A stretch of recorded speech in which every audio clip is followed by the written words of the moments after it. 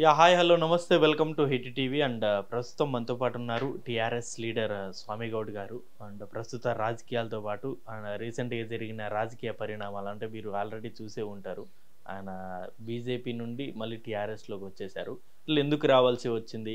ఏంటి అసలు టీఆర్ఎస్ ఇప్పుడు బీఆర్ఎస్ అయింది కదా దాని భవిష్యత్ ఏంటి? అసలు బీజేపీ ఎందుకని ఫెయిల్యూర్ అవుతుంది? ఇలాంటి అంశాలన్నీ ఆయన మాటల్లో తెలుసుకుందాం. నమస్కారం సార్. నమస్కారం సార్ మొత్తానికి మళ్ళీ సొంతింటికి వచ్చినట్టు చాలా మంది ఇదే డైలాగ్ చెప్తారు రాజకీయ నాయకులు. వేరే పార్టీకి వెళ్ళి మళ్ళీ వాళ్ళ పార్టీకి వచ్చినప్పుడు ఇదే డైలాగ్ చెప్తారు సొంతింటికి వచ్చినట్టు ఉందని. మీకు అలాగే అనిపిస్తుందా? నాకు ఉద్యమ పార్టీలోకి ఉద్యమ సంస్థలోకి తిరిగి వచ్చినట్టుగా ఫీల్ అవుతున్నా సంస్థ. ఒక- మాట చెప్పాలంటే సంఘ్లో పనిచేసినాను కాబట్టి భారతీయ జనతా పార్టీ నాయకులతో కానీ అంత సంస్థలతో కానీ చాలా దగ్గర అనుబంధం ఉంది. అంత అనుబంధం ఉన్నప్పటికీ కూడా తెలంగాణ ఉద్యమంలో తీవ్రమైన ఉద్యమం జరుగుతున్నప్పుడు భారతీయ జనతా పార్టీ హ్మ్. సరి అయిన పాత్ర పోషించలేదని నేను అభిప్రాయపడుతున్నాను హ్మ్. ఆ పాత్ర పోషించకపోవటం వలన తెలంగాణ రాష్ట్రం కోరుకునేటటువంటి నావళ్ళందరూ కూడా అభిమానులు భారతీయ జనతా పార్టీ అభిమానులు కూడా హ్మ్. తెలంగాణ ఉద్యమంలో పాల్గొన్నారు. తెలంగాణ ఉద్యమంలో పాల్గొన్నటువంటి మేము ఏ ఉద్యమ స్ఫూర్తితోటైతే పోయామో తెలంగాణ రాష్ట్రం వచ్చిన తర్వాత ఆ పార్టీతో అట్లాగే అటాచ్. అటాచ్మెంట్ ఉంది. అట్లాగే ఉండిపోయాం. సో అప్పుడు తెలంగాణ రాష్ట్ర సమితిలో ఉండి తెలంగాణ ఉద్యమం చేసి రాష్ట్రం వచ్చిన తర్వాత దాంట్లో ఉండటం జరిగింది ఆ తదుపరి ఐదు సంవత్సరాలు బ్రహ్మాండంగా మాకు తెలంగాణ రాష్ట్రం వచ్చిందనే సంతోషంలోనే ఉండాం. ఆ సంతోషంలో ఉన్నప్పుడు తెలంగాణ రాష్ట్రం పరిపాలన చేసేటటువంటి అధికారులందరూ కూడా మంత్రులందరూ కూడా రాష్ట్ర ముఖ్యమంత్రితో పాటు ఎంతసేపు తెలంగాణను ఏ విధంగా డెవలప్ చేయాలి ఏమేమి ఇవ్వాలి ఏమేమి గతంలో హామీలు ఇచ్చాము లెక్కలు ఎంత బడ్జెట్ ఎంత ఇవి చూసుకోవడానికే కాలమంతా సరిపోయింది హ్మ్. హ్మ్. మేము కూడా అదే విధంగా భావించాం. ఇంకా ఇప్పుడు ఇమ్మీడియట్గా రాగానే రాష్ట్రం రాగానే అభివృద్ధి ఎట్లా సాధవుతుంది అధికారులు సహకరించాలి. దాదాపు యాభై సంవత్సరాల ఆంధ్ర పరిపాలనలో ఉన్నటువంటి అధికారులు కోఆపరేట్ చేయాలి ప్రజలకు అర్థం చేసుకోవాలి మన బడ్జెట్ ఎంతో మనకు తెలియాలి. మన ప్రణాళిక ఏందో మనకి తెలియాలి అనే ఆలోచనతో ప్రజలు కూడా అర్థం చేసుకున్నారు పాలకులు కూడా అదే విధంగా వ్యవహరించారు. ఎప్పుడైతే రెండో సంవత్సరం అంటే రెండో రెండో టర్మ్ టర్మ్లోకి టర్మ్లోకి ఎప్పుడైతే తెలంగాణ రాష్ట్ర సమితి ఎంటర్ అయిందో వచ్చిన తర్వాత ఐదు సంవత్సరాల్లో ఇచ్చినటువంటి ప్రణాళికలు అమలు చేయటం మొదలుపెట్టారు. అమలు జరిగాయి. అదే క్రమంలో అమలుతో పాటుగా రాష్ట్ర ముఖ్యమంత్రి గారు బిజీ అనండి రాష్ట్ర అధ్యక్షుడు పదవి కూడా ఆయనకే ఉండడం కానీ ఇంకోటి ఏవైనా కానీ కానీ. తెలంగాణ ఉద్యమంలో ప్రాణాలకు తెగించి పోరాటం చేసినటువంటి మాలాంటి వాళ్ళతోటి కొద్దిగా వారు దూరంగా ఉన్నారు డిస్టర్బెన్స్ వచ్చేసింది దూరంగా ఉన్నారు. అనేక ఎక్కువ విమర్శలు వచ్చేది కూడా ఇది. ఇప్పుడు కోదండరామ్ గారు ఆయన చాలా కీలకంగా వ్యవహరించారు అప్పట్లో ఆ ఉద్యమ సమయంలో ఆయన్ని కూడా దూరం పెట్టడం జరిగింది మీలాంటి వ్యక్తులను కూడా దూరం చేయడం జరిగింది అది వాస్తవం. ఎనిమిది నెలలు నేను ఫోన్లు చేసినప్పటికీ కూడా సారు స్పందించకపోవడం. ఇంటర్వ్యూ పోవడం మాట్లాడకపోవడం అనేది మనసును చాలా బాధ పెట్టింది. ఎందుకని అలా? కారణం ఏంటో? కారణం ఏంటో ఈ రోజు వరకు తెలియదు. నేను మొన్న పార్టీలో జాయిన్ అయినాడు కూడా అడిగారా? డైరెక్ట్గా? ఇదే మాట అడిగాను. ఎనిమిది నెలలు నాతో మాట్లాడిపోవడానికి కారణం ఏంటి సార్. నేను ఎక్కడైనా తప్పు చేశానా. ఏమన్నా మీరు ఇచ్చిన పదవి ఏమన్నా మిస్యూజ్ చేశామా. లేకపోతే సిద్ధాంతాన్ని వ్యతిరేకించామా? స్కీమ్లను వ్యతిరేకించామా?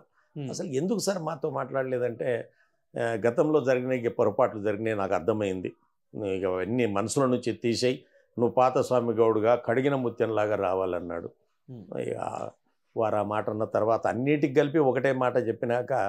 ఇక నేను ఇక ముందుకి ఇంకేం అడగలే అక్కడికే ఉన్నాం. గతంలో జరిగిన పొరపాట్లు అంటే అంటే అంటే అవన్నీ అవి డీటెయిల్స్గా అంటే నీతో మాట్లాడకపోవడం కానీ లేకపోతే పార్టీ పెద్దలను ఉద్యమకారులను కలవకపోవడం కానీ ఇక కారణాలు ఏవైనా కానీ గతంలో జరిగినటువంటి వాటిని అన్ని మనం మర్చిపోదాం తిరిగి మనం పనిచేద్దాం పార్టీ కోసం. బీఆర్ఎస్ మనం జాతీయ స్థాయిలో పార్టీ పెడుతున్నాం కాబట్టి. అవన్నీ మీరు మర్చిపోయి రావాల్సిన అవసరం ఉంది. మీరు అవసరం పార్టీకి అని వారు డైరెక్ట్గా అన్నారు ఇప్పుడు ఇక్కడ మీరు వెళ్ళడం జరిగిందా లేకపోతే లేదు నన్ను నన్ను పిలిచారు పిలిచారు నాకు ఫోన్ చేశారు. మాట్లాడాల్సిన వాళ్ళు మాట్లాడారు ఆ. తర్వాత హరీష్ రావు గారు మాట్లాడారు. అయితే తెలంగాణ ఉద్యమ సంఘంలో తెలంగాణ ఉద్యమంలో ఎన్జిఓ సంఘంలో పనిచేసినటువంటి నాతో పనిచేసినటువంటి దేవిప్రసాదరావు గారు. మత్సూనాచారి గారు హరీష్ రావు గారు కేటీఆర్ గారు ముఖ్యమంత్రి గారు. ఆల్మోస్ట్ ఆల్ అంతా ఆ, రేంజ్ ఉన్నటువంటి వాళ్ళే. అందరు మాట్లాడారు ఇక మాట్లాడిన తర్వాత సరే మంచిదని ఇక నేను రావటం జరిగింది ఇప్పుడు అంటే ఏంటి సార్ అంటే ఎయిట్ మంత్స్ బీజేపీలో ఉన్నారు బట్ ఆ ఎయిట్ మంత్స్ అన్నది మనసు మీద టిఆర్ఎస్ మీదే ఉందా? లేదు కంప్లీట్ ఒకటి. సమస్యలు ప్రస్తావన వచ్చినప్పుడు ఖచ్చితంగా మనసు ఉన్నా లేకున్నా నేను భారతీయ జనతా పార్టీని అనేక సార్లు అడిగాను. ప్రతిరోజు కేసీఆర్ను విమర్శించడమే పనిగా పెట్టుకున్నాం మనం. నిన్న దయచేసి కేసీఆర్ను విమర్శించే పని వద్దు. మనం ఏం చేద్దాం. కేసీఆర్ ఫెయిల్ అయినందుకే కదా మనం వస్తున్నాం. కేసీఆర్ పని పని చేయలేదే మనం వస్తున్నాం. మనం ఏం చేస్తాము? మనం హామీలే మనం ఏమైనా ప్రజలకు హామీ ఇవ్వగలమా? ఇవాళ దళిత బంధు ఉంది. దళిత బంధును అమలు చేయమని కేసీఆర్ని అడుగుతున్నాం. రేపు పొద్దున మనం వస్తే ఈ దళిత బంధును అమలు చేయగలమా? ఎంత బడ్జెట్ అవుతుంది? ఎంతమంది దళితులు ఉన్నారు? మనం ఎప్పుడైనా లెక్కలు తీసామా దయచేసి ఏం చేద్దామో చెప్పండి. జరిగింది జరిగిపోయింది. ఇంకా ఎన్ని రోజులు కేసీఆర్ గారు అది చేయలేదు ఇది చేయలేదు అంటాం? ఆయన ఆయన చేత కాలేదు చేయలేదు పొరపాటు జరిగిందే మనం వస్తున్నాం. మనం వచ్చినప్పుడు ఏం చేద్దాం అనేది ప్రజలకు హామీ ఇవ్వాలి. దయచేసి ఆ విషయంలో ఆలోచించండి. అని ప్రతిసారి నేను బీజేపీని నేను ప్రశ్నిస్తూనే ఉన్నాను. అన్ని మీటింగ్లో నేను ఓపెన్గా అడిగాను. బీజేపీలో చాలా గౌరవం ఇచ్చారు. చాలా మర్యాద ఇచ్చారు. ఎక్కడ కూడా ఒక్క ఎంట్రుక మందం కూడా నాకు ఎక్కడ పార్టీలో తేడా రాలేదు. కానీ ప్రజలకు కావలసినటువంటి ఆలోచన విషయంలో మాత్రం ఆడ భిన్న దృక్పథాలు భిన్న కోణాలతోటి ఉన్నాయి. అది నేను అడిగాను. ఇది కాదు. ఉచిత విద్య అంటున్నాం. ఉచిత విద్యను ఏ విధంగా అమలు చేస్తామో మనకి ఏమైనా ప్లాన్ ఉందా? ఈడు నాడు ఉన్నటువంటి ప్రైవేట్ స్కూల్స్ ఎన్ని ప్రైవేట్ యాజమాన్యాలు ఎన్ని? దాని మీద మనం ఏమైనా ఆలోచన చేస్తున్నామా? అవి కదా ఆలోచన చేయాల్సినవి. ఇప్పుడు రన్నింగ్లో ఉన్నటువంటి విద్యకు బడ్జెట్ ఎంత? మన దగ్గర నిన్నటి దాకా బడ్జెట్ మంత్రిగా చేసిన ఈటల రాజేందర్ గారు ఉన్నారు. వారికి ఒక నలుగురు ఆఫీసర్లను పెట్టి ఈ రోజుకున్న బడ్జెట్ ఎంత నడుస్తుంది స్కూల్కి రేపు దీన్ని మొత్తం ఉచితంగా ఇస్తే ఎక్కడ వాళ్ళకి ఇవ్వగలం? ఇస్తాము వాట్ అబౌట్ అరవై అరవై ఎనిమిది శాతము విద్యార్థులు ఈరోజు ప్రైవేట్లో చదువుతున్నారు. ఈ ఒక్కసారిగా ప్రైవేట్ ఉచితము అనేటక్కల ప్రైవేట్ బంద్ చేస్తే వీళ్ళని ఏం చేయాలి? ఏం చేయాలి? ఈ అరవై ఎనిమిది శాతం చదివే పిల్లలను ఒక్కసారిగా మార్చగలమా? వారి తల్లిదండ్రుల మైండ్ సెట్ను మార్చగలమా? లేదు మార్చామే అనుకుందాం. ఈ ఎవరైతే స్కూల్స్ పెట్టారో వాళ్ళ పరిస్థితి ఏంటి? ఏంటి? అక్కడ చదువు అక్కడ టీచర్లు. చేస్తున్నటువంటి పరిస్థితి ఏంటి ఉమ్, ఆ ప్రాపర్టీస్ పరిస్థితి ఏంటి ఆ బిల్డింగ్ల పరిస్థితి ఏంటి ఉమ్, ఇవన్నీ కూడా మనం అంచనా వేయాల్సిన అవసరం ఉంది. వంతుల వారిగా చేసుకుంటూ పోవటమా? లేకపోతే ఒకేసారి చేయటమా? మనకి ఏదైనా ఆలోచన లేనప్పుడు మనము ఏ విధమైనటువంటి దాంతో మనం హామీ ఇస్తున్నాం ఈరోజు.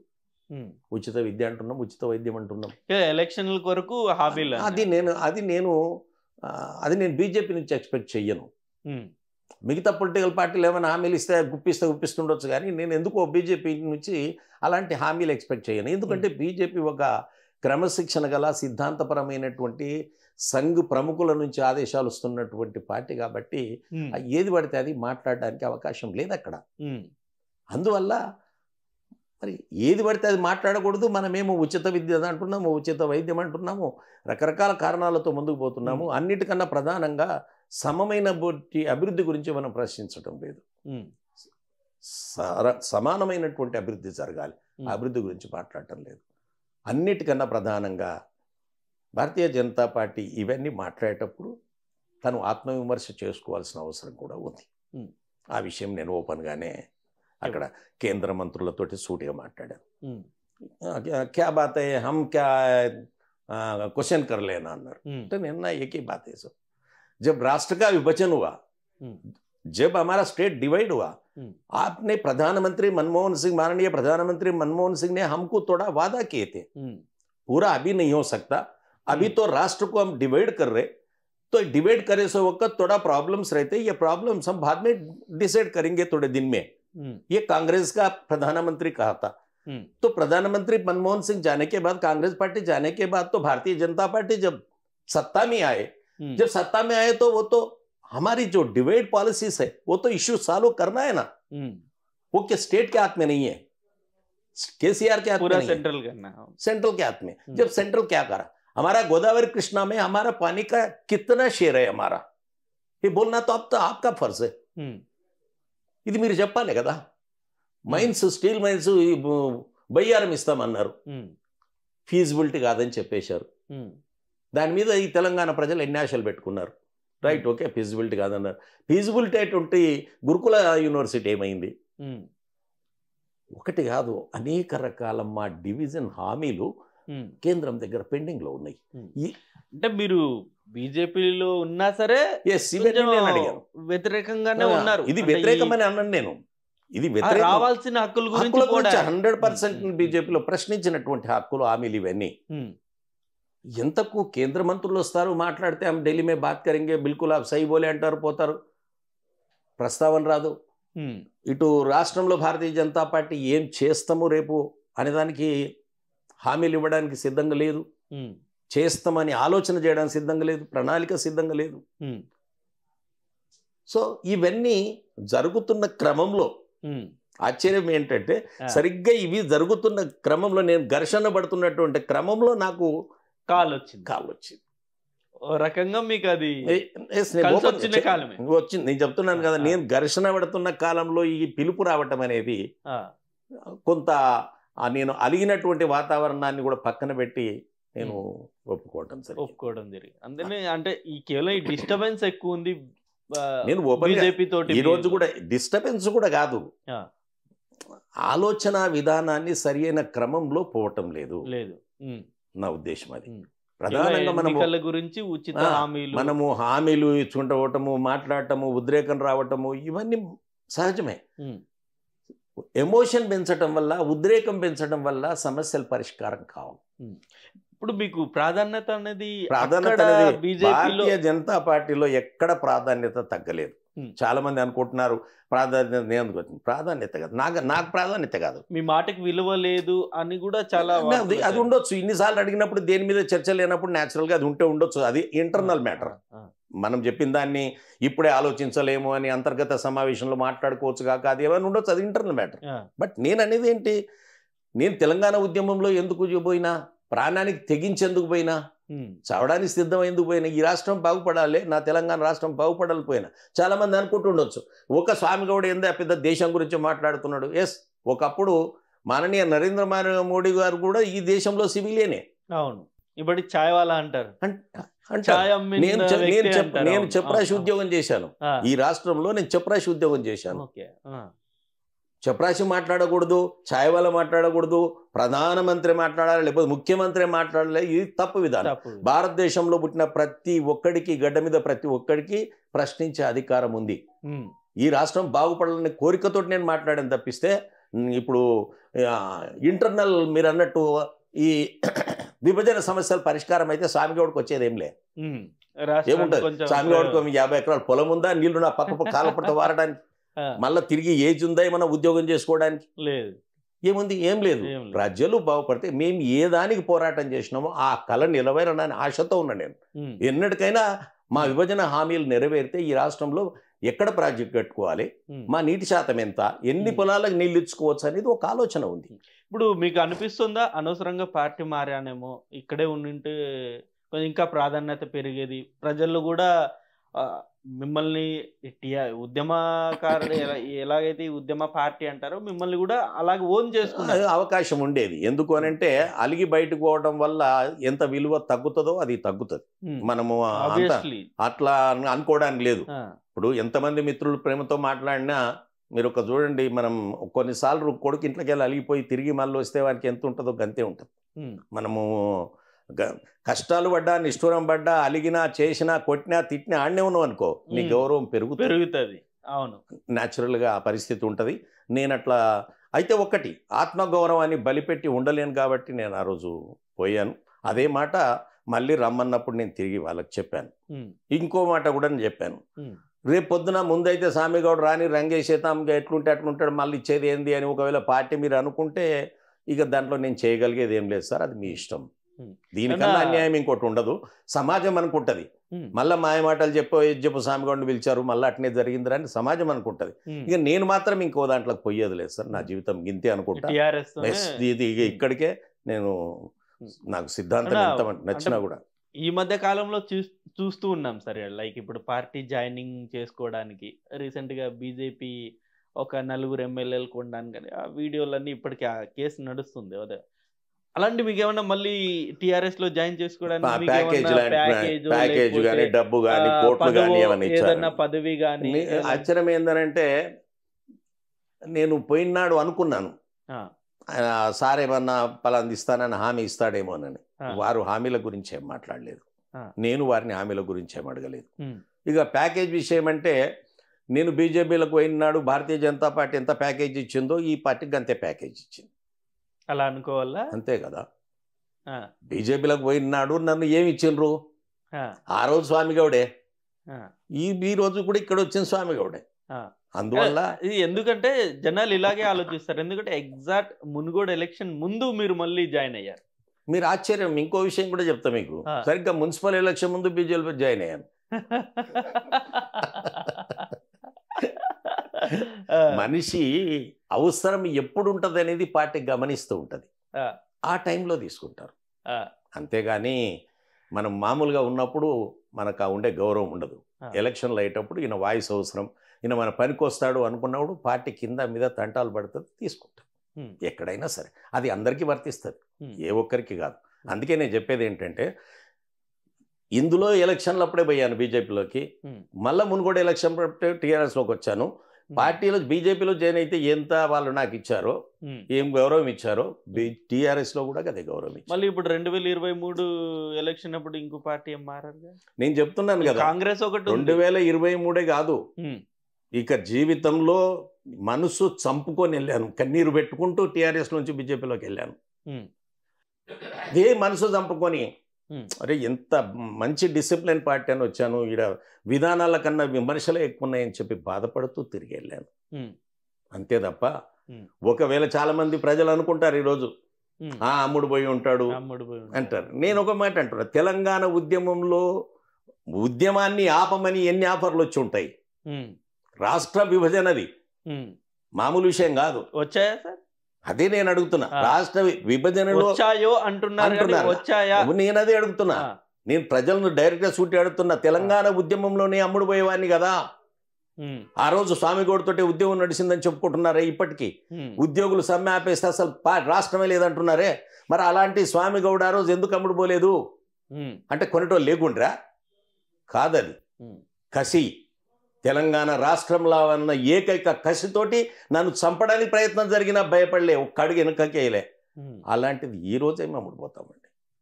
అందుకే నేను చెప్పేది ప్రజలు కొంత బాధతోటి ఆవేదనతోటి కొన్ని మాటలు అంటారు. నేను వారిని ఏం తప్పు పట్టడం లేదు. న్యాచురల్గా కొంతమంది బీజేపీ అభిమానుల వాళ్ళు "ఆ, అమ్మ అమ్ముడు పోయండి అన్న. అనుకుంటారు. ఇటు టీఆర్ఎస్లో నుంచి అక్కడ పోయినప్పుడు కూడా అరే బీజేపీలో మొదటి నుంచి ఉన్నాడు కాబట్టి డైరెక్ట్ మోడీతాన్ని తీసుకుపోయారు కాబట్టి ఆ అన్నను ఏదో హామీ ఇచ్చారు పెద్ద హామీ. పెద్ద హామీ. న్యాచురల్ ఇదంతా ఇది సహజం. దాన్ని నేను ఎవరిని తప్పుపట్టడంలే కానీ నేను నా మనస్ఫూర్తిగా చెప్తున్నటువంటి అంశం ఏమిటంటే నేను ఆ రోజు ఎంత స్వేచ్ఛగా ఉన్నానో ఉద్యమంలో ఎట్లున్నానో ఈ రోజు నేను అట్లాగే ఉన్నాను. రేపు పొద్దున టీఆర్ఎస్ పార్టీ నన్ను లెక్క చేయకపోయినా లేకపోతే మళ్ళా గట్లనే చేసినా కూడా ఇక ఏ పార్టీలోకి ఇక పోయేది లేదు నా జీవితం గింతి అనుకుంటా నా పాయింట్ ఇప్పుడు మళ్ళీ. కేసీఆర్ గారికి కావచ్చు లేకపోతే టిఆర్ఎస్ పార్టీకి ఇదే మెయిన్ పాయింట్ అవ్వచ్చు కదా వచ్చేసాడు ఇంక వెళ్ళడం కానివ్వండి. కానివ్వండి మనం ఏం చేస్తాం. ఇప్పుడు నేను అనేది ఒకటే. ఇప్పుడు మీ ఇంటర్వ్యూ ద్వారా ఇన్న కేసీఆర్ ఉమ్, రేపు పొద్దున ఇంకేం రా అన్న ఏం చేసినా చెల్తా అనుకుంటే రైట్ ఓకే. దాన్ని చేయగలిగేది ఏం లేదు మనం మనం అంత పార్టీ పదవి నీ చేతిలో లేనప్పుడు అధికారం నీ చేతిలో లేనప్పుడు నువ్వేం చేయలేవు. అనుకుంటాం మనం మస్తు అనుకుంటాం. ఇప్పుడు నేను టీవీలో మస్తు చెప్తా "ఆ, రేపు పొద్దున నాకు ఇవ్వకపోతే చూసుకుంటా ఏంది చూసేది? ఏముండదు మిత్రమా? ఏముండదు. ఇవన్నీ పక్కన పెడితే ఇప్పుడు మునుగోడు ఎలక్షన్ రిజల్ట్స్ వచ్చేసాయి. ఆల్రెడీ మొన్నే మనం చూసాం సార్. మునుగోడు రిజల్ట్ అంటే టిఆర్ఎస్ నైతికంగా అంటే ఓవరాల్గా ఒక ఒక ఓటా రెండు ఓటా పదివేల ఓట్ల ఇవన్నీ పక్కన పెడితే టిఆర్ఎస్ గెలిచింది. బట్ ఆ గెలుపు గెలుపు కాదన్నది ఇప్పుడు వినబడుతున్న మాట. లైక్ మెజారిటీ ఆఫ్ ది మొత్తం మంత్రుల దగ్గర నుండి కింద స్థాయి అధికారుల వరకు మొత్తం మునుగోడు చుట్టే ఉన్నారు ఆ ఎలక్షన్ వారం రోజులు. అంతమంది ఉన్నా సరే ఇప్పుడు మునుగోడు? మునుగోడు ఎలక్షన్లో ఎంతమంది బయటికి వెళ్ళి ఎవరు పోయినా ఓటర్లను ప్రభావితం చేయలేరు. చేయలేరు. అది తప్పది. బీజేపీ వాళ్ళు పోని పోని ఎవరు పోయినా సరే బయటి వాడు ఒక గ్రామంలోకి ఓటర్లను ప్రభావితం చేయలేడు. కాకపోతే ఈయన మినిస్టర్ గారు వచ్చారు అని చెప్పి వెనకని అడుగుతుంటే అచ్చా నిన్నటిదాకా పేరు విన్నాం ఈయన మంత్రి అని చూడడానికి వస్తారేమో మీ దగ్గరకు కానీ మీకు ఓట్ల రూపాయన ట్రాన్స్ఫర్ కావు. టీఆర్ఎస్ ఒకవేళ ఏదన్నా అయితే ఇక టీఆర్ఎస్ పని అయిపోయిందని సమాజంలో ఒక టాక్ డెవలప్ అవుతుంది కాబట్టి ముఖ్యమంత్రి గారు ఇంతమందిని అక్కడ లోడ్ చేయాల్సి వచ్చింది. బీజేపీ కూడా కేంద్రం నుంచి మంత్రులు రావటం అనేది ఒకవేళ బీజేపీ గెలవకపోతే బీజేపీ ఏదో ఊపులో రెండు మూడు గెలిచింది కానీ ఇది ఓడిపోయింది ఇది కా దీంతో ఏం కాదు అనుకునే టాక్ వస్తుంది కాబట్టి బీజేపీ తన వంతు ప్రయత్నం తను చేసింది. ప్రజలు అటు బీజేపీకి తెల ప్రభుత్వం మీద ఉన్నటువంటి వ్యతిరేకత చూపించారు ఆ వచ్చినటువంటి ఓట్లతోటి గెలుపు కూడా సాధ్యమైంది. అయితే ఒకటి ఇక్కడ ఇది తీ వ్యతిరేకమైన ఓటు అని అనుకుంటే ఇంత పద్దెనిమిది వేల నుంచి ఎనభై వేలకు ఓటు పోవటం అంటే వ్యతిరేకమైన ఓటు అని ఒకవేళ ప్రజలు భావిస్తే అనుకుందాం. అసలు టీఆర్ఎస్ఏ గెలవనటువంటి ఒక నియోజకవర్గంలో మళ్ళీ టీఆర్ఎస్ గెలిచింది కదా అని చెప్పుకునే అవకాశం టీఆర్ఎస్కు ఉంది. ఉంది. ఇక రెండోది టీఆర్ఎస్కు పదివేల ఐదు వేలు అనేది కాదు అది కూడా సమానంగా తొంభై వేల దాకా పోయింది.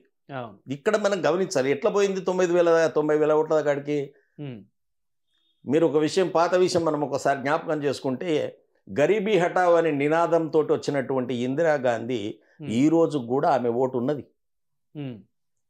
ఈ రోజు కూడా ఆమె ఓటు ఉన్నది. ఆ తరం ఏదైతే పోతుందో ఆ తరంతో ఓటు పోతుంది కానీ ఆ, నినాదము తలలో ఉన్నటువంటి ఓటు మాత్రం ఈ రోజు కాంగ్రెస్కు ఉంది. ఎన్టీ రామారావు బీసీల అధికారంలోకి రావాలి బీసీలకు అధికారం ఇవ్వాలని చెప్పి ఇచ్చినటువంటి నినాదం ఓటు ఈ రోజు కూడా టీడీపీకి ఉంది నాయకుడు సరిగ్గా లేడు కాబట్టి ఓటు పక్కకు పోతుండొచ్చు. కానీ సరి అయిన నాయకత్వం దొరికిన రోజున దానికి ఓటు ఉంది అట్లాగే టీఆర్ఎస్ కూడా ఈరోజు కేసీఆర్ ప్రవేశపెట్టినటువంటి పథకాలను తీసుకుంటే కళ్యాణ లక్ష్మి తీసుకోండి రెండు గదులు తీసుకోండి వయోవృద్ధుల పెన్షన్ తీసుకోండి. మీరు ఏ స్కీమ్ తీసుకున్నా బాలింత హాస్పిటల్లో కాన్పైతే కేసీఆర్ కిట్ ఇవ్వటం కానీ ఉమ్, ఆమె తీసుకుపోయి ఇంటి దగ్గర దించి రావటం కానీ ఇవి ఇవన్నీ కూడా కోట్లు రాకపోవచ్చు వీటితో. కానీ. ఇవి సామాన్య ప్రజానికం బ్రెయిన్లలో పాతకపోయినటువంటి స్కీమ్లు ఇవి. ఈ స్కీమ్లను అంత ఈజీగా పెకిలించడం సాధ్యమయ్యే పని కాదు. కాదు. అందువలనే అయితే ఉండొచ్చు. ప్రతి దగ్గర లోపం జరుగుతుంటది. బ్రహ్మదేవుడు దిగి వచ్చినా కూడా ఇచ్చినటువంటి అన్ని హామీలు ఎవడు పూర్తి చేయడు. కేసీఆర్ కూడా చేయకపోవచ్చు. పొరపాట్లు అరా కొర పొరపాట్లు జరుగుతాయి. కానీ అసలు స్కీమ్ అంటూ వచ్చిందా? అనేది ప్రధానం. ప్రధానం. మీరు ఏ గ్రామం తీసుకోండి. అది మునుగోడు కాదు ఇంకోటి కాదు ఇంకోటి కాదు కిస్మత్పుర గ్రామం తీసుకున్నా మీరు ఏ గల్లీకి పోయి పది ఈ యాభై మందిని అడిగితే పది మంది వచ్చిందని చెప్తారు. యాభై మందికి రాకపోవచ్చు. పది మందికి అయితే చేరింది. అంటే. స్కీము ఈ తెలంగాణలో ప్రతి గ్రామానికి చేరుకుంది. ఆ చేరుకున్నటువంటి స్కీము ట్రాన్స్ఫామ్ అవుతూ ఉంటుంది. అందుకే అక్కడ కూడా అన్ని ఓట్లు రావడానికి ఎంతమంది మంత్రులున్నా మంత్రుల వల్ల ఓట్లు వచ్చినాయని నేను భావించట్లేదు. ఆ స్కీమ్ల వల్ల ఆ స్కీములు తిరిగి పునరుచ్చారణ అంటే మనం రీమెమోరీ అని చెప్తూ ఉంటాం చూడండి. పార్టీ చేసిందల్లా రీమెమోరీ. ఇగో వయోద్యోగ పెన్షన్ వచ్చింది ఇగో రైతు బంధు స్కీమ్ వచ్చింది ఈ పొలం ఆయనకు ఐదు వేలు వచ్చింది ఉండొచ్చు నీతో పాటుగా పై యాభై ఎకరాలను కూడా ఉండొచ్చు. అది నీకు బాధ ఉండొచ్చు. కానీ నీకు వచ్చిందా లేదనేది ప్రధానం. ప్రధానం. అందువల్ల నేను ఇక్కడ అనేది ఏంటంటే కేసీఆర్ గారు తీసుకున్నటువంటి ప్రణాళికలు స్కీములు ఏవైతే ఉన్నాయో అవే గెలిపించాయి అవి. గెలిపించాయి అని అంటున్నారు. రేపు కూడా అవే వారిని ముందుకు తీసుకెళ్తాయి. ఆ స్కీములు ఉన్నన్ని రోజులు ఆ ప్రజల్లో ఉన్నన్ని రోజులు అంటే. ఇక్కడ ఒకటి గమనించాలి. ఈ తరం పొయ్యే వరకు. మరి ఇప్పుడు దుబ్బాక కావచ్చు లేకపోతే మన రాజేందర్ గారి హుజురాబాద్ కావచ్చు. అక్కడ ఎందుకు ఈ స్కీమ్స్ ఈ పనిచేయలేదంటారు స్కీములు అక్కడ కూడా పనిచేసాయి. పని చేయలేదని ఏం అంటలేను. కాకపోతే నేను. చెప్పాను కదా నీకు రెండు ఏట్లు తక్కువ రెండు ఓట్లు నాకు ఎక్కువ. ఇప్పుడు. రెండు సార్లు ఓడిపోయిన క్యాండిడేట్ ఉంటాడు. రెండు సార్లు ఓడిపోయిన క్యాండిడేట్ ఏమవుతాడు ప్రజలకు ఒక సానుభూతి పెరుగుతుంది. అరే ఇంకొకసారి ఇంకోటి గెలిపించవచ్చురా? రెండు సార్లు ఓడిపోయాడు మనవడు. నడవండి అన్న అన్న భావన డెవలప్ కావచ్చు ఒక నియోజకవర్గంలో. ఇంకొక నియోజకవర్గంలో రాష్ట్ర ప్రభుత్వం నుంచి అనేక బాధలు ఎదుర్కొని ఒక సానుభూతి పొందినటువంటి సానుభూతి వేవ్స్ కొట్టుకొని పోతాయి. మీరు అప్పుడప్పుడు చూస్తుంటాం మనం. ఒక మంచి మంత్రి చనిపోతే ఆయన భార్య నిలబెడితే ఆ వేవ్లో అందుకు ఆ. మూడు అక్షరాలు రావు. ఆ, వేవ్ అంతే. సైక్లోన్ వచ్చినప్పుడు ఎవరు తట్టుకోలేరు ఇక దానికి. ఇక్కడ హుజూరాబాద్లో ఈటలన్న గారికి వచ్చినటువంటి సానుభూతి సైక్లోన్. ఉమ్, రఘుపతి అన్న గారికి వచ్చినటువంటి సైక్లోన్ రెండోసారి వచ్చినటువంటి ఆయన మీద ఉన్నటువంటి సానుభూతి ఆయన ఇంటలెక్చువల్ ఆయన ఒక అడ్వకేట్ ఆయన ఉండాలి అన్న భావన ఆ నియోజకవర్గంలో ఉంది. అంతే. అంత. మాత్రం చేత స్కీములు పోయినాయి అని కానీ స్కీములు లేవని కాదు స్కీములు ఉన్నాయి. స్కీములే గెలిపిస్తాయి. ఆరాకురా కొన్ని నియోజకవర్గాలు పోతాయి. ఎంత మంచి స్కీమ్ ఇచ్చినా ఇరవై నాలుగు గంటలు మాకు అందుబాటులో ఉండేటటువంటి వ్యక్తి అనుకున్నప్పుడు ప్రజలు ఆయన కోటేస్తారు. స్కీమ్ ఎంత మంచిదని ఉండొచ్చు. స్కీమ్ రాష్ట్రం నుంచి అక్కడ అభ్యర్థి కీలకం. అభ్యర్థి కీలకం అవుతుంది అట్లాగా కొన్ని నియోజకవర్గాలు అట్లా సెట్ అవుతాయి. అంతేగాని అది ఎవరు ఫెయిలియర్ కాదు ఎవరు హండ్రెడ్ పర్సెంట్ ఎవరు సక్సెస్ కాదు. ఒక్కొక్కసారి స్థానిక అభ్యర్థి. అభ్యర్థికి ఉన్నటువంటి అనుబంధం అది ఆయన గెలిపిస్తుంది. ఇప్పుడు మీరు బీజేపీలో కూడా ఎయిట్ మంత్స్ ఉన్నారు కాబట్టి బీజేపీ విధానాలు కావచ్చు లేకపోతే బండి సంజయ్ గారి నాయకత్వం కావచ్చు ఎంతవరకు సక్సెస్ అవ్వచ్చు? ఇప్పుడు ఒక పార్టీలో ఉండి ఇంకో పార్టీ ఎట్లా సక్సెస్ అయ్యేదని చెప్పడం న్యాయబద్ధం కాదు నేను ఉండి వచ్చాను. కాబట్టి చెప్తున్నా. అది ఒక డిసిప్లిన్డ్ పార్టీ. ఈ క్రమంలో ఎట్లుంటుంది అని అంటే కొత్త వాళ్ళు నాలాంటి వాళ్ళు జాయిన్ అయినా కొద్ది ఇప్పుడు నేను జాయిన్ అయ్యాను. దానికి ఉన్నటువంటి సిద్ధాంతం ఒకటి. నా మాట ఇంటలేరన్న భావన నాకు రావచ్చు. నేను దాని పట్ల సుముఖ సుముఖంగా లేకపోవచ్చు. ఇలాంటివి వల్ల కొంత ఆ పార్టీకి కొంత ఇబ్బంది ఏర్పడే అవకాశం అయితే ఉంటుంది. ఎందుకంటే పార్టీ అధికారంలోకి రావాలని చెప్పి అందరినీ జాయిన్ చేసుకోవడంతో వచ్చినటువంటి నాయకుడు ఆల్మోస్ట్ ఆల్ ఎమ్మెల్యేనో ఎంపీఓ నడిపించే వచ్చి ఉంటాడు కదా. ఆయనకంటూ కొన్ని విధానాలు కొన్ని సిద్ధాంతాలు ఉంటాయి. ఆయనకంటూ వాయిస్ ఉంటుంది. నా వాయిస్ వింటలేరే నేను చెప్పింది వింటలేరన్న భావన ఆయనకు రావచ్చు. అలాంటివి వచ్చినప్పుడు ఏమైందంటే అక్కడ కొంత సిద్ధాంతపరమైనటువంటి ఆలోచనకు భిన్నమైన ఆలోచనలు వస్తూ ఉంటాయి. కాబట్టి వాటిని సరి చేసుకోగలిగితే వారు ఎప్పటికైనా ఇప్పుడు బండి సంజయ్ గారు ఎప్పుడు అప్పుడప్పుడు చూస్తుంటాం. ఎక్కువ కాంట్రవర్సీ స్టేట్మెంట్స్ ఇస్తూ ఉంటారు. మరి ఆయన సరైన నాయకత్వంలో ఆయన హండ్రెడ్ పర్సెంట్ బండి సంజయ్ గారు సరైన నాయకత్వం సరైన క్రమంలోనే పోతోంది. కానీ రాష్ట్రానికి రావాల్సినటువంటి వర్క్స్ చేయించడంలో టోటల్గా వీళ్ళంతా ఫెయిల్ అయ్యారని నేను భావిస్తా ఉన్నాను. లేకపోతే కేసీఆర్ గారి మీద కోపం ఉంటే రాష్ట్ర ప్రజలు ఏం చేశారు? రాష్ట్ర ప్రజలకు రావాల్సినటువంటి హామీలు నెరవేర్చమని అడుగుతున్నాం. ఎఫ్ఆర్బిఎం నుంచి రావాల్సిన లోన్ ఎందుకు రాలేదు? అన్ని రాష్ట్రాలకు వచ్చినటువంటిది. ఒక తెలంగాణ రాష్ట్రానికి ఎఫ్ఆర్బిఎం సంబంధించిన ఎందుకు రాలేదు? కారణం నేననేది ఏమిటి అని అంటే రాష్ట్ర ముఖ్యమంత్రి గారు కొంతమంది మీద మంత్రులు పడకపోయి ఉండొచ్చు కాక. కానీ. దానివల్ల ప్రజలు ఇబ్బంది పడుతున్నారు కదా. మీరు ప్రజల మనిషి అని అంటున్నారు కదా మోడీ గారిని కేంద్ర ప్రభుత్వాన్ని. సంజయ్ గారిని భారతీయ జనతా పార్టీని ప్రజలది అంటున్నారు డిసిప్లిన్ అంటున్నారు డీసెన్స్ పార్టీ అని చెప్తున్నారు కదా ఒక. క్రమశిక్షణ కలిగి పార్టీ. కాబట్టి ఆ క్రమశిక్షణను అడ్డం పెట్టుకొని మీరు రాష్ట్ర ప్రజాన్ని కానీ ఇబ్బంది పెట్టొద్దు. ఉమ్, కాబట్టి రాష్ట్రానికి రావాల్సిన నిధులు ఇవ్వాల్సిందిగా నేను ప్రత్యేకంగా అప్పుడు కోరాను నేను ఇప్పుడు కూడా కోరుతున్నాను. ఇప్పుడు మీ టిఆర్ఎస్ పార్టీకి ప్రత్యామ్నాయ పార్టీ అంటే ఇటు కాంగ్రెసా బీజేపీ ఇటు బండి సంజయ్ లేకపోతే రేవంత్ రెడ్డి అది సమాజం నిర్ణయిస్తుంది నేను ఎట్లా చెప్పాలి? మీరేమంటారు? అంటే ఇప్పుడు కాంగ్రెస్ పార్టీ రేపు. పొద్దున ఏదన్నా ఊహించని పరిణామం జరిగినప్పుడు కాంగ్రెస్ ముందు వరుసలో ఉండొచ్చు. లేదు అనుకోని పరిస్థితులు ఏర్పడినప్పుడు భారతీయ జనతా పార్టీ ముందు వరుసలు ఉండొచ్చు. ఇప్పటికీ నేను జ్యోతిష్యుడిలాగా ముందు చెప్పడం అది తారుమారుగా అవడం మీరేమనుకుంటున్నారు? అంటే ఎవరు ప్రజలు ఎవరు ప్రజల పక్షాన నిలబడితే ప్రజలను సంక్షేమం పట్ల ఆలోచిస్తే వాళ్ళు ఉంటారు వాళ్ళు ఏ పార్టీ అయినా సరే. ప్రజలను పిచ్చోళ్ళని ప్రజలను మనం ఏది చెప్తే నమ్ముతారు అని అంటే ఒక రోజు రెండు రోజులు నమ్ముతారు ఆ తర్వాత మనని పక్కన పెడతారు. ఏ పార్టీ అయినా గమనించాల్సింది ఒకటే. ప్రజల పక్షాన్ని నిలబడాలి పరిపాలన విషయంలో ప్రజల విషయంలో అన్ని విషయంలో ఉద్యోగుల విషయంలో తగిన నిర్ణయాలు తగిన సమయంలో తీసుకోవాలనేది నా అభిప్రాయం. ఇప్పుడు రేవంత్ రెడ్డి ఇటు కాంగ్రెస్ పార్టీని అంటే మొన్నటి వరకు ఒక స్థాయి వరకు తీసుకొచ్చారనే వార్తలు వచ్చాయి. బట్ రిజల్ట్స్ అన్ని పక్కన పెడితే థర్డ్ ప్లేస్లో మునుగోడు కావచ్చు అన్ని లేకపోతే దుబ్బాక ఇక్కడ ఎక్కడే కానీ అంత ఆశించినంత రిజల్ట్స్ రాలేదు. కాంగ్రెస్ పార్టీ మీకు ఎంతవరకు పోటీ అనుకుంటున్నారు? కాంగ్రెస్ పార్టీ ఒకటే ఇక్కడ మనం గమనించాలి. కాంగ్రెస్ పార్టీని రేవంత్ రెడ్డి గారు టేక్ ఓవర్ చేసినప్పుడు బ్రహ్మాండంగా నడిపిస్తాడు. పార్టీని ముందు వరుసలో నిలబెడతాడు. కొంత ఇది అధికార పార్టీకి పోటీగా ఉండొచ్చు అనుకున్నాం. కానీ ఇలా ఉన్నటువంటి నాయకులు ఇంతకుముందు మీకు ఒక మాట చెప్పాను. ఒక పార్టీలోనేమో కొత్తలు పోతే వారి సిద్ధాంతాన్ని నడిపేయాలని చూస్తారు. ఒకరు ఇంకో పార్టీలోకి వెళ్ళి పోయి పెద్దరికం చేస్తే మన మా హామీ నడిపేయాలని చూస్తారు. దానివల్ల మిగతాళ్ళకు మింగుడు పడదు. ఇన్ని సంవత్సరాల నుంచి పార్టీలు ఉన్నా నువ్వు నాకేం చెప్పేది? ఇన్ని సంవత్సరాల నుంచి పార్టీలు ఉన్నా నువ్వు నాకేం చెప్పేది? అనే భావన బయటికి అనకపోయినా అది లోపల తిప్పుతా ఉంటుంది. అది ఎన్నడో ఒకనాడు బయటపడుతుంది. బెస్ట్ ఎగ్జాంపుల్ రాజగోపాల్ రెడ్డి గారు కోమటి బ్రదర్స్. అట్లనే ఇక్కడ కూడా కాంగ్రెస్ పార్టీలో రేవంత్ రెడ్డి గారికి సీనియర్స్ అనేటోళ్ళు కొంత సహకరించలేదనే టాక్ బయట ఉంది కాబట్టి రేవంత్ రెడ్డి గారు వారు సర్దుకొని వాళ్ళతో కలిసి పనిచేస్తే రేపు పొద్దున భవిష్యత్తులో అది కూడా బాగానే ఉంటుంది. ఇప్పుడు బీఆర్ఎస్ పార్టీ పెట్టారు అంటే ఇప్పుడు రాష్ట్ర స్థాయిలో మంచి సక్సెస్ సాధించారు. టూ టర్మ్స్ వచ్చిన టీఆర్ఎస్ పార్టీ ఇప్పుడు దేశ రాజకీయాల్లో వెళ్ళబోతున్నారు. ఇప్పుడు రాష్ట్ర రాజకీయాలు వేరుంటాయి దేశ రాజకీయాలు వేరుంటాయి. అసలు దేశ రాజకీయాల్లో టీఆర్ఎస్ పార్టీ అసలు కొంతవరకు అయినా రీచ్ అవ్వగలదా అన్నది నేను. ఇక్కడ అభిప్రాయపది దేశము ఏదైనా కానీ రాష్ట్రం ఏదైనా కానీ ప్రపంచంలో ఉన్న దేశాల సమస్యలన్నీ అవే. భారతదేశంలో ఉన్న రాష్ట్రాల సమస్యలన్నీ అవే. ఉమ్, చాలా మంది అనుకుంటారు భాష వేరుండొచ్చు భావన వేరుండొచ్చు కానీ సమస్య మాత్రం ఒకటే. అదే నిరుద్యోగ సమస్య అదే నీటి సమస్య అదే పంట సమస్య. ఈ సమస్య లేనటువంటి రాష్ట్రం ఏది లేదు. లేదు. మనం అనుకుంటాం. పాకిస్తాన్ పోయి చూస్తే అవే సమస్యలు ఉంటాయి. ఇంకో దానికి పోయి చూస్తే అవే ఈనాడు ఆ పెద్దన్నగా చెప్పుకునే అగ్రరాజ్యానికి ఉన్న సమస్యలు అవే. వాళ్ళకి డబ్బులు ఎక్కువైపోయి అణ్వస్త్రాలు తయారు చేసుకుంటాం భయపెట్టిస్తామని అంటారు. వాళ్ళకున్న సమస్య అది. మనకున్న సమస్య నిరుద్యోగ సమస్య నీటి సమస్య తిండి సమస్య. భారతదేశంలో అనేక రాష్ట్రాల్లో ఈ సమస్య ఉంది.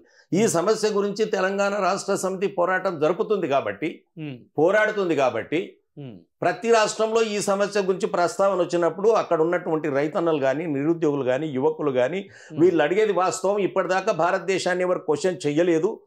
ఇప్పుడు భారత రాష్ట్ర సమితి తరఫున క్వశ్చన్ చేస్తున్నారు కాబట్టి ఈ క్వశ్చన్ న్యాయమా మంచిదేనా చెడ్డదేనా అని ఆలోచించి ప్రజలు దాన్ని సహకరించేటటువంటి అవకాశం ఉంది. కానీ అక్కడ రా రాష్ట్ర రాజకీయాలు వేరుంటాయి కదా సార్. ఇప్పుడు ఫర్ ఎగ్జాంపుల్ బెస్ట్ ఇప్పుడు మన ఆంధ్రానే చూసుకుందాం. ఇప్పుడు మీరు వెళ్ళి అక్కడ పోటీ చేసి అక్కడ ఆల్రెడీ అటు YCP versus TDP versus Janasena ఈ మూడు పార్టీలు అక్కడ స్ట్రాంగ్ ఉన్నాయి. ఇప్పుడు టీఆర్ఎస్ పార్టీ వెళ్తే అక్కడ అసలు ప్రజలు యాక్సెప్ట్ చేస్తారా అన్నది ఇక్కడ పాయింట్. ఇప్పుడు ఇక్కడ సమస్య ఒకటి. అక్కడ ఆల్రెడీ యాక్సెప్ట్ చేసిన నాయకుడు మాతో కలుస్తాడేమో ఏం తెలుసు?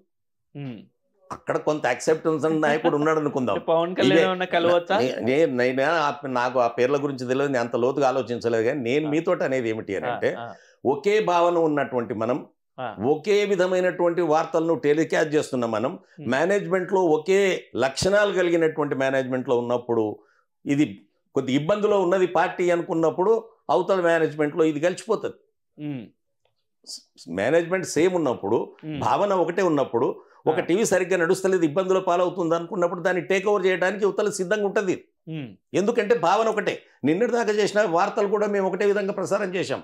నిజాన్ని వెలికి తీసే క్రమంలో ఇద్దరం ఒకే పోరాటం చేశాం. కాబట్టి కలుసుకునే అవకాశం ఉంటుంది. అందువల్ల ఆంధ్రలో కూడా ఉన్నటువంటి నాయకత్వం ఏదైతే ఇదే విషయాన్ని ప్రశ్నిస్తుందో ఈ విషయాల్ని ఎక్కడైతే ప్రస్తావన చేస్తుందో ఆ. పార్టీలో ఉన్న వాళ్ళు బీఆర్ఎస్తో కలవ కలవచ్చు కదా.